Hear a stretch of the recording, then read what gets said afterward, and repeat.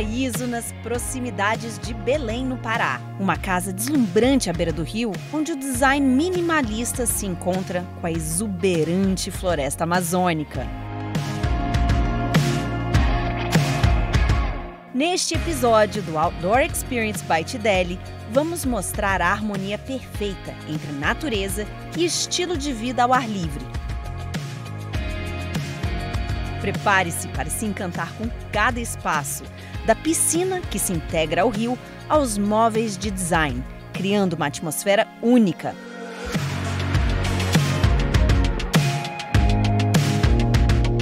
Também vamos conhecer de perto alguns dos sabores que tornam Belém um destino para qualquer amante da gastronomia. Mergulhe nessa experiência cinematográfica.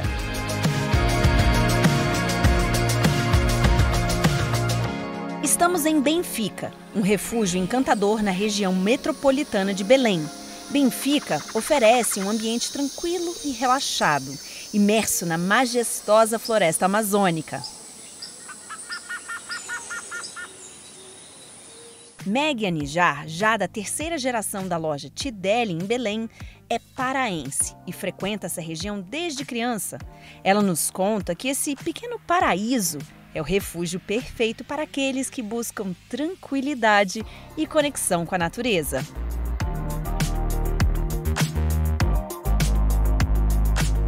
É, e aqui é uma região no meio da floresta, né? É, onde as pessoas têm casas, num condomínio super charmoso. Tem muita gente que tem casa aqui, porque em Belém a gente não tem muita opção de lazer, de praia. Então aqui é um lugar na beira do rio, e com casas maravilhosas onde as pessoas podem sair né, do, do, ambiente de trabalho, do dia a dia. Aqui é uma, é uma área onde as pessoas normalmente têm lancha e saem no final de semana.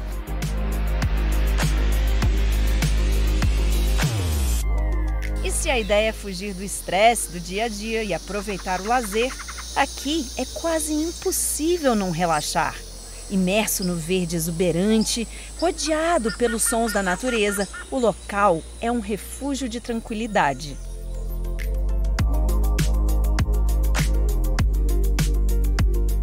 A casa, estrategicamente situada às margens do rio Benfica, foi cuidadosamente escolhida pelas proprietárias, que buscavam a comodidade de utilizar sua própria lancha para desfrutar de passeios nos fins de semana. A indicação desse lugar encantador foi feita pelo amigo e talentoso arquiteto Ricardo Siqueira.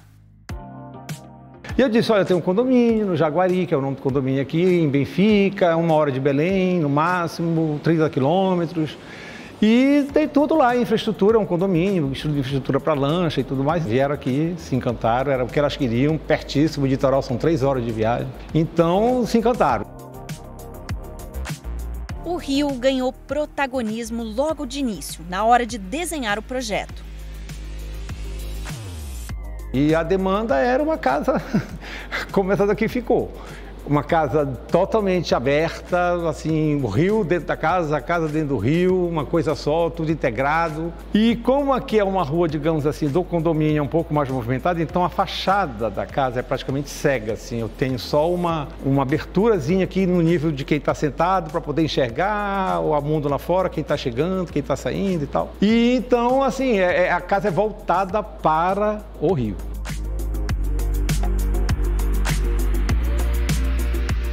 Margeando o terreno da casa e criando uma sensação de conexão com a natureza, as águas ora invadem parte do terreno como se quisessem participar do dia a dia, ora recuam com a força da maré. A piscina é um visual à parte, se estendendo para dentro do rio. Uma solução criativa para o pedido das proprietárias.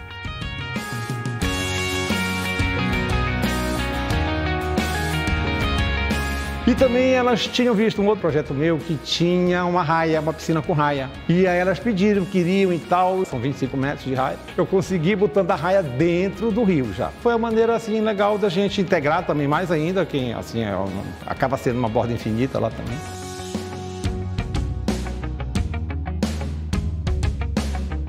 E Falando em soluções criativas, esse projeto é cheio delas. A arquitetura minimalista da construção é composta por dois grandes blocos que se interligam, mas mantêm certa independência. E isso tem um porquê. E elas são pessoas assim bem, têm muitos amigos, fazem festa e tal. Então a, a, solução da casa foi a gente fazer esse pavilhão aqui social, com apoio de serviço e tal, e um pavilhão separado para os quartos, que aí uma coisa não briga com a outra, elas têm as, as mães, as filhas e tal. Então assim, as festas rola e lá dentro está todo mundo tranquilo, quem quiser dormir vai dormir. Então assim foi feito.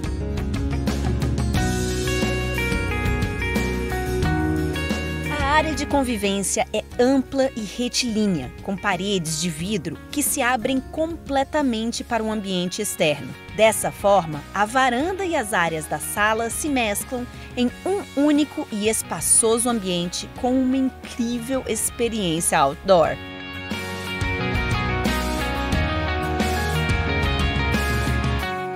A gente mora aqui em Belém, a temperatura média são 32 graus, é quente e úmido, então a gente sua um pouco mais, além do calor e tal. Então a gente tem que ter ar-condicionado, aproveitar a vida e tal, sem perder o que está lá fora. Então a solução foi essa, fazer um, no pavilhão uma parte refrigerada, toda envidraçada, e a parte ao ar livre, só coberta por causa de chuva e tal, e do sol.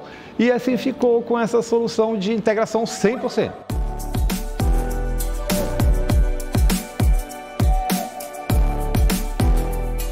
Para setorizar os diferentes espaços dentro desta casa de proporções generosas, projetada como um amplo pavilhão sem divisórias físicas, a solução foi utilizar os próprios móveis como delimitadores de ambientes. Cada peça, cuidadosamente selecionada, desempenha um papel essencial na definição dos espaços, permitindo uma fluidez harmoniosa.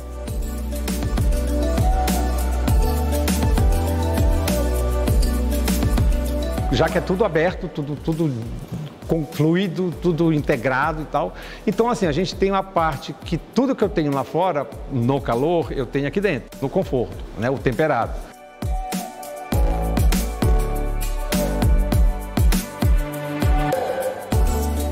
O azul turquesa dos móveis da piscina chama a atenção, criando um contraste marcante com o verde exuberante da floresta e logo na entrada da casa, uma peça escolhida a dedo.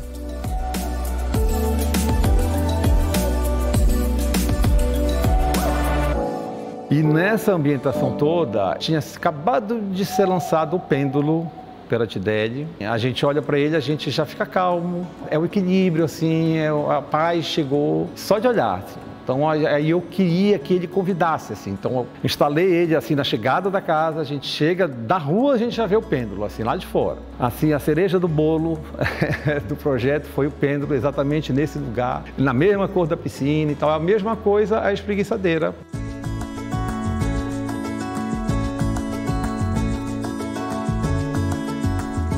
Cereja do bolo campeão de vendas. O pêndulo é destaque em qualquer projeto. Irã, da loja Tideli de Belém, sabe bem disso. É, nós temos uma peça diferenciada na loja, que é assinada pelo arquiteto, projetista, designer Rui Otaki, que é campeão de, de, de vendas na, na, loja. Na realidade, a grande maioria das peças são obras de arte, não só porque são feitas artesanalmente, mas porque são peças que vão dar o diferencial no ambiente do cliente, tanto interno como externo.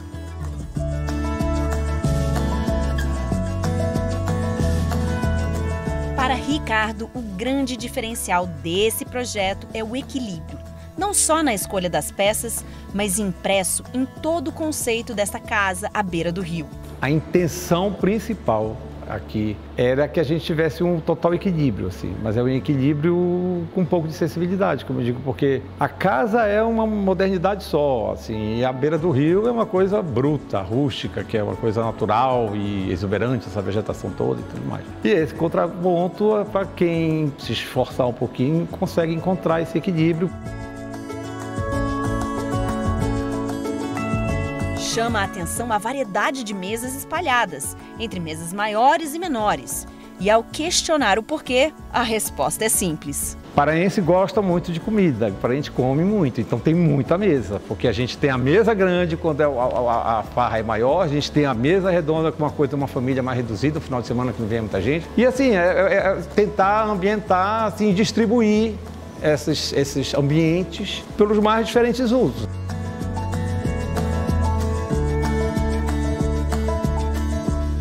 Fácil entender por que o paraense gosta tanto de comida. São muitos sabores únicos. A gastronomia é um ponto forte, com influências de muitos países. Quem nos conta é o chefe de cozinha do renomado restaurante Santa Chicória, Paulo Anijar. A gente foi centro durante muito tempo, principalmente na época da borracha, que nós éramos exportadores desse produto, então a gente recebeu é, influência de todas essas culturas que hoje fazem parte e agregaram a nossa gastronomia que é tão rica. A gente está no local geograficamente posicionado que tem uma influência muito boa, que alguns produtos são únicos e só, só se plantam, só se criam, só se dão aqui na nossa terra. Tento falar para todas as pessoas que vêm de fora, que a gente recebe, que a gente faz, a gente ama mostrar para as pessoas que o mais rico nosso é a comida. Quando a gente vai para o Rio, as pessoas querem levar para o Corcovado, para o Pão de Açúcar, para a praia é, quando vai para São Paulo, querem levar para as obras ou se não para a parte cultural. A gente leva para comer, que é a nossa maior riqueza. O Santa Chicória nasceu da vontade de dar um toque contemporâneo a pratos típicos da região. Então a gente resolveu fazer o bolinho de maniçoba, uma versão reduzida, extremamente saborosa. Pato no tucupi, é um ensopado com pato, com bastante tucupi, que é o suco da mandioca fermentada, com as folhas do jambu, que é a erva que deixa a boca tremendo. E aí a gente fez um rolinho de pato, como fosse um rolinho primavera, também numa versão comprimida dos pratos clássicos nossos. E a gente começou a fazer tudo isso com nossos pratos, com nossas frutas, com nossos peixes. E o Santa hoje tem 12 anos de idade, então a gente conseguiu fazer em Belém um trabalho diferenciado, com elementos simples, nada de coisa muito molecular, nada de comida muito chique, mas com muito sabor e mantendo uma essência que é a comida parense, que é uma comida reconfortante.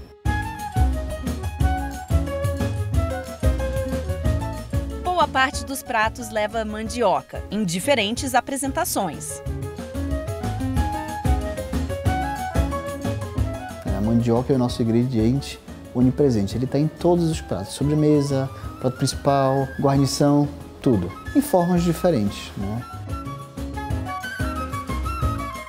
O bolinho de maniçoba leva a maniva, um caldo extraído das folhas da mandioca e cozido por cerca de 10 dias. O rolinho de pato é servido com uma geleia feita de tucupi, que é um caldo amarelado extraído da raiz da mandioca. Peixe pirarucu também é servido com tucupi, mas dessa vez numa versão em espuma. Já o peixe chamado filhote, encontrado apenas nessa região e um dos mais saborosos, é preparado na brasa e acompanha uma farofa feita de farinha de mandioca com manteiga de urucum e castanha do Pará. E é servido junto com um arroz com pesto de jambu.